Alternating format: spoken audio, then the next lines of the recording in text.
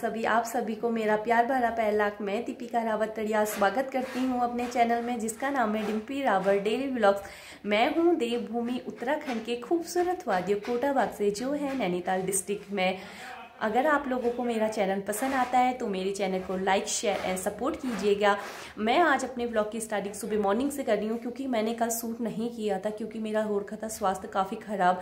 आप लोगों ने देखा था कि मेरी आवाज़ थोड़ी मोटी हो रखी थी। अभी मैं बेटर फील कर रही हूँ, इसलिए मैंने सोचा कि आज मैं आपसे अपना डेली रूटीन शेयर करूँ। घर का सारा जो काम था, सफ़ाई वगैरह डस्टिंग वो सारी कंप्लीट हो चुकी है। दहलियाँ भी हमने लिख चुकी हैं फाइनली कुछ एक आध दहलियाँ बची हैं, जिसे मैं आज कंप्लीट कर लूँगी। आज मैं सुबह मॉर्निंग से अपना स्टार्ट कर रही हूँ ब्लॉग आई होप आप लोगों को मेरा ये चैनल पसंद आए। पसंद आए तो मेरे चैनल को लाइक शेयर एंड सपोर्ट कीजिएगा। मैं आज आपको दिखाती हूँ कि मैं मॉर्निंग रूटीन में क्या यूज़ करती हूँ। तो चलिए मैं मिलती हूँ थोड़ी देर बाद। मेरी रूटीन के लिए सबसे पहले फेस क्लीन करने के लिए ये मिनी फेस वॉश यूज़ करती हूँ, जो क्लीन क्लियर का गोल्डन गोल्ड वाला है। ये काफ़ी बेटर है।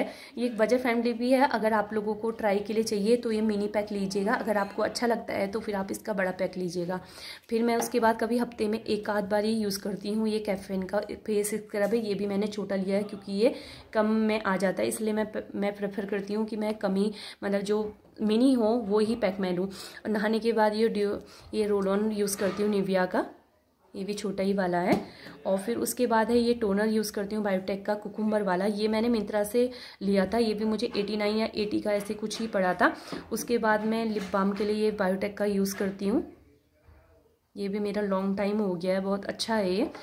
उसके बाद मैं लिपस्टिक यूज़ करती हूँ। ये है स्विच ब्यूटी की, ये वाली, जो मैंने अभी यूज़ भी की है ये। और उसके बाद कभी कभी यूज़ करती हूँ प्लम का ये रिफ्रेशिंग टोनर कभी कभी ज़्यादा नहीं ज़्यादा मैं कुकुम्बर वाला यूज़ करती हूँ। ये है मेरा डेली रूटीन मैं मिलती हूँ आपको थोड़ी देर बाद। इलाहाबाद की मार्केट जो सज चुकी है दिवाली के लिए।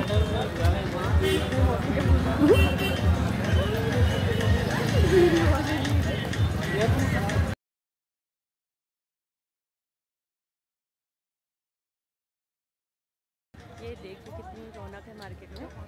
ये है कोटाबाग की मेन मार्केट दोनों से एक ही लोग आ सकते हैं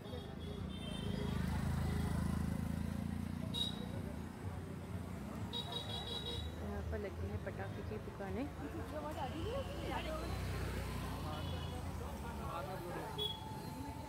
आपकी तो आवाज़ नहीं आ रही होगी।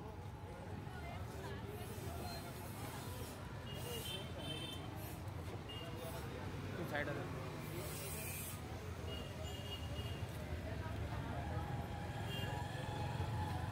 काफ़ी रौनक है मार्केट में, बहुत ज़्यादा।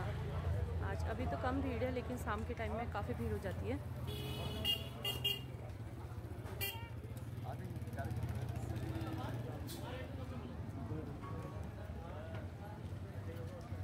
देखिए खूबसूरत दुकानें सजी हैं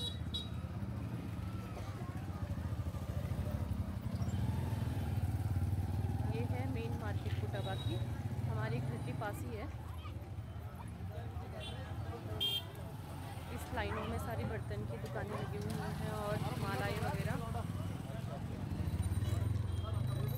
काफ़ी बर्तन है। ये है ताबे का खोला जो हमारा प्रसिद्ध है, कुमाऊँ में, पानी के लिए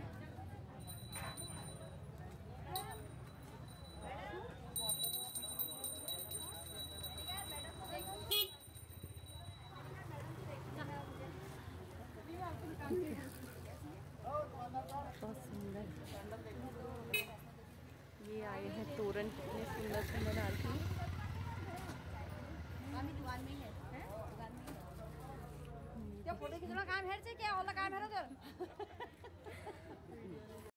थोड़े ऊपर भी शॉप लगी हुई है। काफ़ी यहाँ पर तो पेंटिंग वगैरह मिलती है। ये है कोटापाक का गाँव, जिस ये ये गाँव का नाम है जाला। देखिए कितना खूबसूरत है। और वो जो जा रही है किनारे किनारे जंगल के बीच में आपको दिखाई दे रही होगी, वो है नदी। और जब बरसात होती है, वो पूरा भर जाता है नदी। ये देखिए कितना सुंदर व्यू है, पूरे धान के खेत हैं। जितने हैं, सारे धान के खेत दिखाई दे रहे हैं आपको ये। मैं आपको जूम करके दिखाती हूँ। ये देखिए, ये सारे धान के खेत हैं। ब्यूटीफुल व्यू ये देखिए कितना खूबसूरत है। और जो पहाड़ियाँ आपको दिखाई दे रही हैं, वो है नैनीताल की पहाड़ियाँ। और यहाँ से अंदर जंगलों में जाके वहाँ सीतावनी धाम है और बहुत सुंदर है सीतावनी कभी मैं जाऊँगी तो अभी तो फ़िलहाल वहाँ बंद किया हुआ है।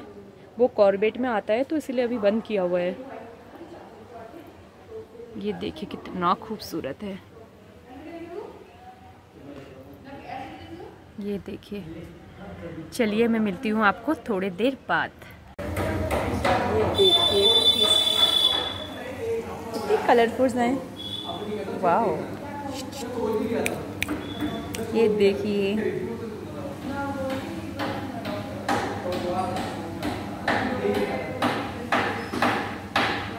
और ये है हमारे और ये हमारे चीड़ के पेड़ के ठीटे इनसे हम बोलते थे ठीटे और इन्हें जलाया जाता तो एकदम से आग जल जाती है। पहले से हम जब छोटे बच्चे थे तो हम इन्हें जंगल से खूब बिन के लेके आते थे कट्टा भर के। तो ये एकदम से आग पकड़ लेते हैं। ये देखिए, ये है ठीटे ये है चीड़ के पेड़ में होते हैं ये। और इनसे ना एक बीज भी निकलता है जिसे हम खाते थे बचपन में। इनके अंदर होता है। जब ये बंद रहता है ना, तब होते हैं वो। चलिए, मैं मिलती हूँ आपको थोड़ी देर बाद। तकरीबन हम आए हैं कोटाबाग मार्केट में और अभी हम खा रहे हैं चाउमीन ये देखिए। और हमने लिए हैं स्प्रिंग रोल ये देखिए। चलो हम करते हैं चाउमीन इंजॉय मैं मिलती हूँ आपको थोड़ी देर बाद। तकरीबन अब बज चुके हैं रात के आठ। आज मैंने अपनी ब्लॉग की स्टार्टिंग की थी, अपनी मॉर्निंग रूटीन के साथ, जो मैंने आप लोगों से शेयर की थी। आज मैं ज़्यादा तो नहीं सूट कर पाई क्योंकि मैं मार्केट भी गई थी और मैं नया नया ब्लॉग बना रही हूँ तो मैं मार्केट में जब सूट करती हूँ, बोलना पड़ता है, मुझे आती है शर्म क्योंकि अभी मैं नया नया स्टार्ट कर रही हूँ। जब मुझे आदत पड़ जाएगी तो तब शायद मुझे ऐसा फील नहीं होगा। अभी नया नया है तो इसलिए मुझे ज़्यादा फील होता है कि मैं ऐसे बोल रही हूँ तो शर्म आती है। आई, मैंने थोड़ा बहुत मार्केट की वीडियोस बना के पोस्ट की हैं, ज़्यादा तो नहीं कर पाई मैं। आई होप आप लोगों को मेरा ये चैनल पसंद आए, मेरा चैनल आप लोगों को पसंद आता है तो चैनल को लाइक, शेयर एंड सपोर्ट करना ना भूले। आप लोगों की सपोर्ट की मुझे बहुत ज़रूरत है, क्योंकि जो मैं आगे आने वाली वीडियो है अच्छी अच्छी बना के पोस्ट कर पाऊँ। आई होप आप लोगों को मेरा ये चैनल पसंद आए। पसंद आए तो चैनल को सब्सक्राइब कीजिए। प्लीज़ मेरे चैनल को सब्सक्राइब कीजिए। मैं मिलती हूँ आपको नेक्स्ट ब्लॉग के साथ।